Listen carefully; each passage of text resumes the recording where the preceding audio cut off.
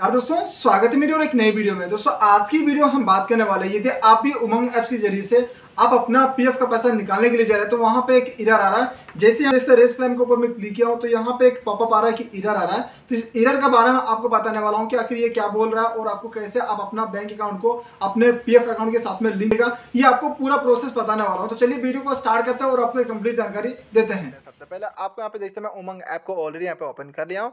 और यहाँ पे रेस क्लाइम के ऊपर में हम जैसे ही क्लिक करते हैं तो हमसे पहले यहाँ पे यूए नंबर पूछा जाता है। तो चलिए यहाँ पे मेरा जो भी यूए नंबर है, यहाँ पे इंटर कर लेता हूँ।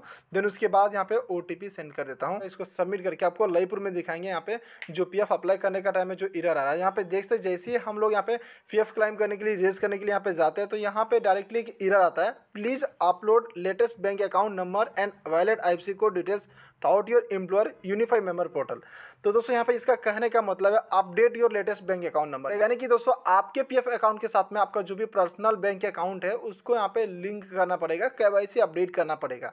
उमंग ऐप्स के ज़रिए से तो यहाँ पे दोस्तों जो बैंक के से नहीं होता है, इसके लिए यहाँ पे डायरेक्टली बोल भी रहा है कि यहाँ पे यूनिफाई मेंबर पोर्टल जो है, उसके ज़रिए से यहाँ पे आप अपना बैंक अकाउंट को लिंक कर सकते हैं उसके ज़रिए से, या फिर आप अपने एम्प्लॉयर को बोल के वहाँ से भी आप अपना जो भी बैंक अकाउंट को, जो भी डिटेल्स है उसको अपडेट करा सकते हैं आप अपने पी अकाउंट के साथ में। लेकिन इस वीडियो को मैं अधूरा नहीं छोड़ने वाला आपको लाइव प्रूफ में दिखाऊँगा कि आप ई जो ऑफिशियल वेबसाइट है यूनिफाई मेंबर पोर्टल उसके ज़रिए से आप अपना बैंक अकाउंट को, अपने पीएफ अकाउंट के साथ में किस प्रकार से लिंक कीजिएगा, एक तरह से के किस प्रकार से कीजिएगा, आप अपने पीएफ अकाउंट के साथ में, उसका भी प्रोसेस पूरा आपको बताने वाला हो। तो वीडियो को बिल्कुल भी मत स्किप कीजिएगा, पूरा ए टू जेड देखिएगा।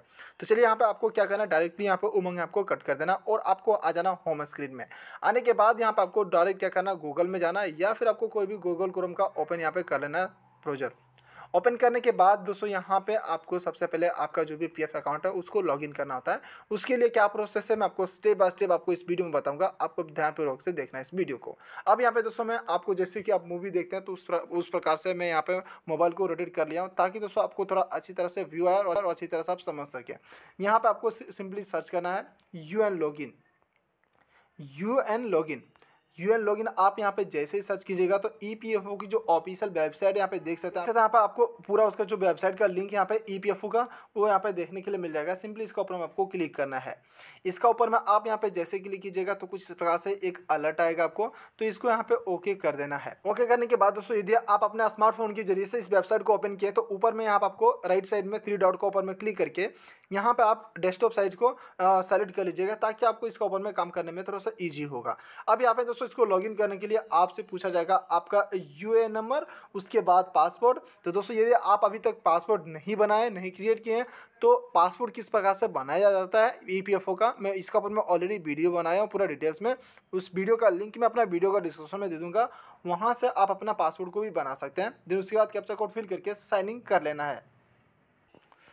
तो यहाँ पे दोस्तों, जो भी यूएन नंबर रहेगा, आपका पासपोर्ट रहेगा, यहाँ पे इंटर करके उसके बाद यहाँ आपको साइनिंग कर लेना है। साइनिंग के ऊपर में आप जैसे क्लिक कीजिएगा तो आपका पीएफ अकाउंट कुछ इस प्रकार से ओपन आ जाएगा। यहाँ पे एक अलर्ट आएगा जो कि नॉमिनी से रिलेटेड है। इसको ओके कर दीजिए फिर कट कर दीजिएगा। उसके बाद उस यहाँ पे आपको बहुत सारे फीचर्स देखने के लिए मिलेगा। आपको सिंपली मैनेज के ऊपर में जाना और यहाँ पे थर्ड नंबर में के के ऊपर में आपको क्लिक कर देना है। इसका ऊपर में आप जैसे ही क्लिक कीजिएगा तो कुछ इस प्रकार से आपको दिखाया जाएगा और यहाँ पे सबसे ऊपर में ऐड के का ऑप्शन भी मिल जाएगा। लेकिन ऊपर में नोट यहाँ पे ओ टी पी बिल भी send to your Aadhaar card link mobile number यानी कि दोस्तों, आपके जो भी आधार कार्ड में मोबाइल नंबर लिंक है, उसी के ऊपर में ओ टी पी जाएगा। उसके बाद यहाँ पे नीचे में ऑप्शन मिल जाएगा। देख सकते हैं आपको नीचे में।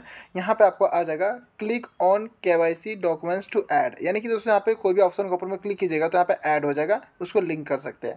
तो यहाँ पे बैंक को हमको लिंक करना है। बैंक अकाउंट को तो इसका ऊपर में आप जैसे ही क्लिक कीजिएगा तो यहाँ पे आपका पूरा डिटेल्स पूछा जाएगा आपका बैंक की डिटेल्स लाइक सबसे पहले आपका नाम यहाँ पे दिखाया जाएगा जो भी आपके पीएफ अकाउंट के साथ में रहेगा जो भी बैंक अकाउंट के साथ में रहेगा देन उसके बाद यहाँ पे बैंक अकाउंट नंबर इंटर कर देना है उसके बाद यहाँ पे आपको नीचे में कन्फर्म बैंक अकाउंट उसके बाद आई कोड यहाँ पे इंटर कर देना है देन आई कोड यहाँ पे आप जैसे इंटर कीजिएगा तो उसके बाद देन यहाँ पे जैसे आई कोड आप इंटर कीजिएगा तो यहाँ पे वेरीफाई आई का आपको ऑप्शन मिल जाएगा तो जैसे आप वेरीफाई कीजिएगा तो यहाँ पे जैसे मेरा वेरीफाइड हो गया अब यहाँ पे ओके करने के बाद यहाँ पे आपको ब्रांच नेम उसके बाद आपका कौन सा बैंक अकाउंट है, वो आपको दिखाया जाएगा। तो यहाँ से आप अनुभव लगा सकते हैं कि जो भी डिटेल्स आपका करेक्ट है।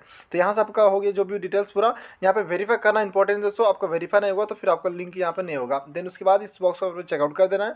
उसके बाद यहाँ पर आपको सेव का ऊपर में क्लिक करना है।